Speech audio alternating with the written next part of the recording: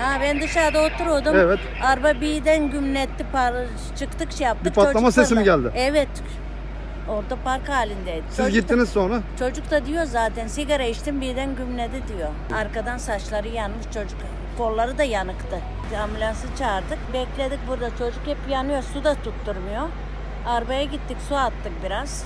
Ama hala tutuyor.